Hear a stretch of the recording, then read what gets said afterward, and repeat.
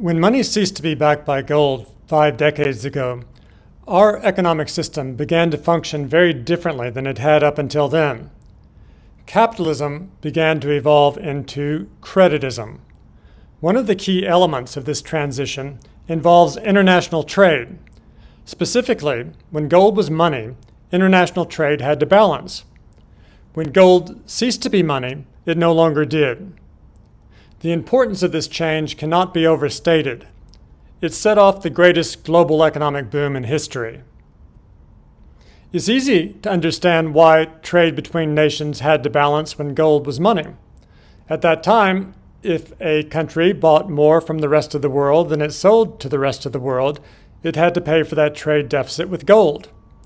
If that deficit persisted for very long, that country would have run out of gold, and it would have had to stop buying things from other countries.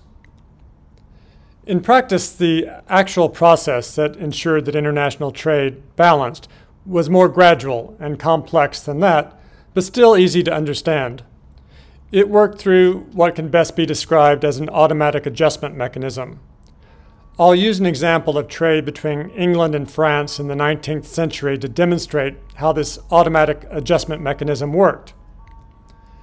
If England ran a trade deficit with France, England would have had to ship some of its gold to France.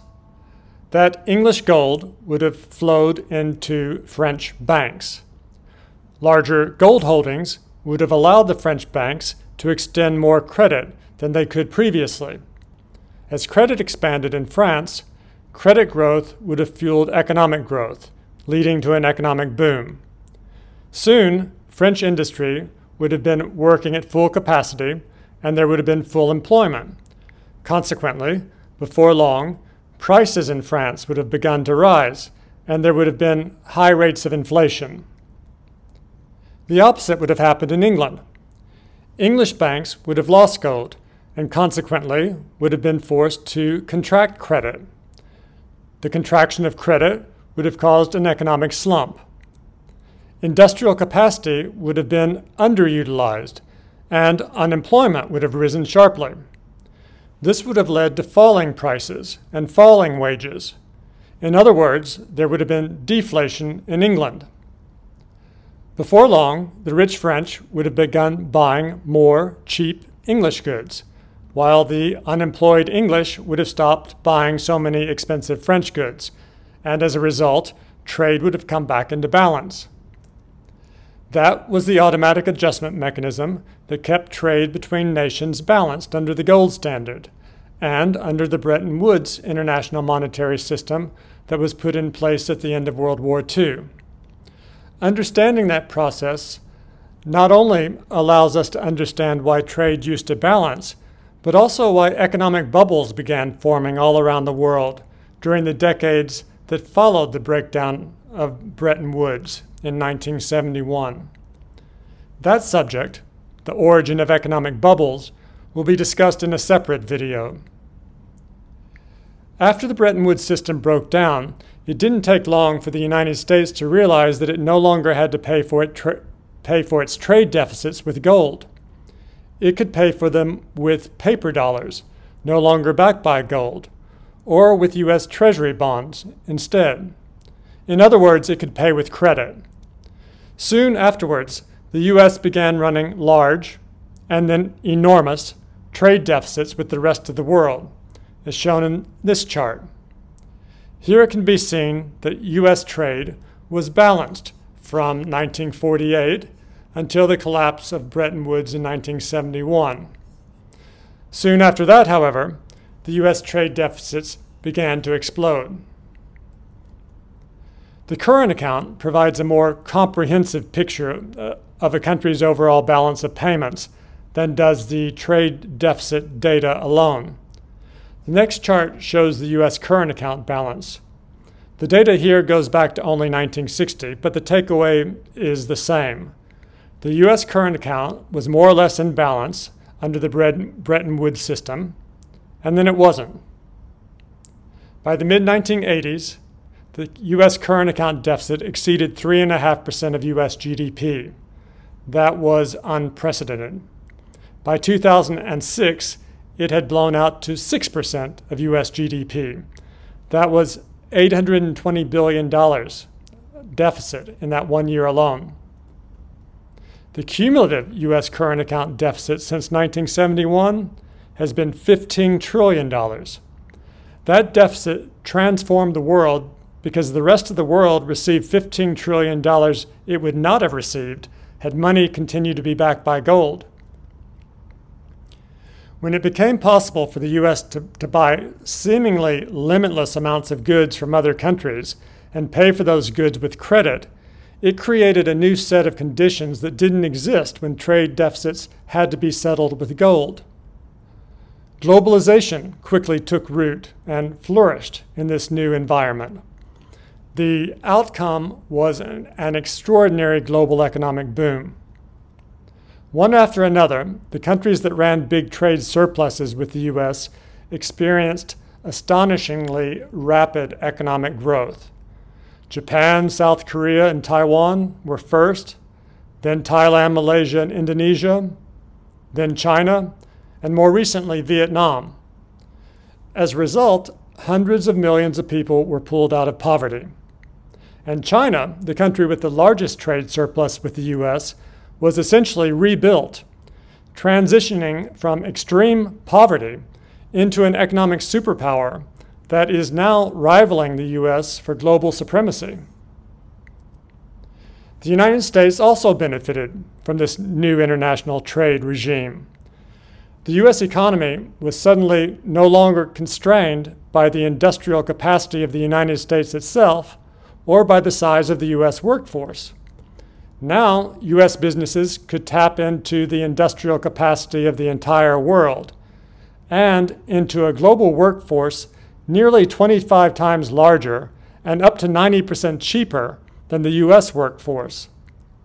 US corporations took full advantage of these new circumstances by moving their factories abroad or by simply buying what they needed from non American companies producing in low cost countries. As a result, corporate profits soared.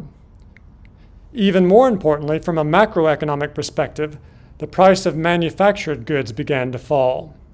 And falling goods prices pulled down the rate of inflation. Globalization drove down inflation from the early 1980s until COVID and Russia's war against Ukraine disrupted global supply chains and pushed inflation higher again. So inflation was in the double digits in 1980. It came down rapidly as the US trade deficits grew. In 2009, there was deflation. In 2015, there was deflation again. And only because of COVID and the Russian war on Ukraine did prices begin to rise again. And as inflation fell, so did interest rates. The yield on the 10 year US government bond fell from 15% in 1981 to 1.5% in 2016, and then to 0.6% in 2020. It's important to note that inflation and interest rates fell even as US government budget deficits expanded. This chart shows that after 1971, the US government's budget deficits blew out to levels that were far beyond anything that had come before. Here's the, the US government budget deficit in World War I. Here it is in World War II. Then, after 1971, we saw budget deficits on an entirely larger scale. By 1992, the government's budget deficit was $290 billion that year. And that's up to just 1992. Here's what happened afterwards. By 2009, the budget deficit was $1.4 trillion, and by 2020, it was $3.1 trillion. In the past, the spending associated with large budget deficits tended to overstimulate the economy and lead to high inflation. High inflation would push up interest rates, since the investors buying government bonds would demand higher bond yields as compensation for higher inflation, and higher interest rates would damage the economy by deterring consumption and investment.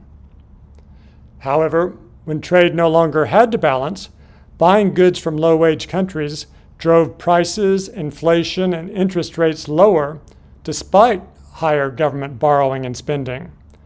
This made it possible for the US government to spend more to stimulate the economy between the early 1980s, when the large US trade deficits began, and 2020, when COVID disrupted global supply chains, without causing inflation. To wrap up then, if money had continued to be backed by gold, international trade would have remained in balance. The global economic boom that pulled hundreds of millions of people out of poverty and turned the trade surplus countries into industrial powerhouses would not have occurred. The high rates of inflation that preceded globalization would have persisted, and the US government's ability to spend huge sums on defense and social welfare simultaneously would have been impossible. And this is only the beginning of the story. An economic revolution occurred when money ceased to be backed by gold. The consequences of that revolution, both positive and negative, extend far beyond what's been discussed thus far. It's essential to understand what those consequences are to make sense of how the economy works in the 21st century. Stay tuned. This revolution and its consequences will all be thoroughly explained in the Creditism 101 videos to come.